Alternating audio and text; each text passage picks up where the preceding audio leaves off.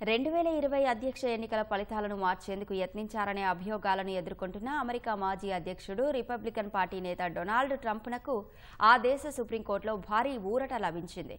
నేరాభియోగాల విచారణల నుంచి మాజీ అధ్యక్షులకు మినహాయింపు ఉంటుందని సుప్రీంకోర్టు చరిత్రాత్మక తీర్పు ఇచ్చింది. ఈ తీర్పును తొమ్మిది మందితో కూడిన ధర్మాసనంలో ఆరుగురు న్యాయమూర్తులు సమర్థించారు.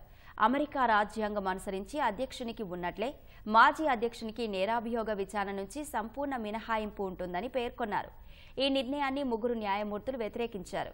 కోర్టు నిర్ణయంతో నవంబర్లో జరిగే అధ్యక్ష ఎన్నికలలోపు న్యాయస్థానాల్లో ట్రంప్ను విచారించే అవకాశాలు ఉండవు.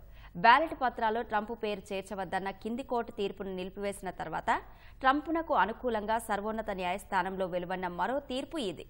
సుప్రీంకోర్టు తీర్పుపై స్పందించిన ట్రంప్ మన రాజ్యాంగానికి ప్రజాస్వామ్యానికి ఇది భారీ విజయమని హర్షం వ్యక్తం చేశారు.